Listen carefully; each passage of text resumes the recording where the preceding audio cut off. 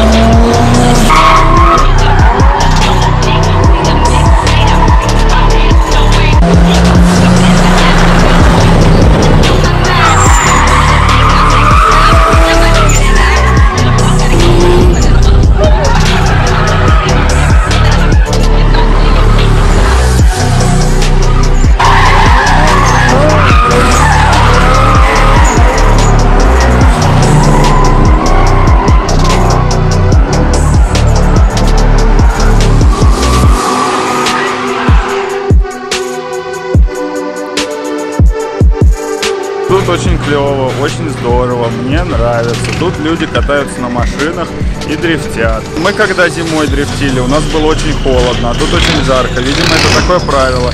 Все время должно быть какие-то крайности.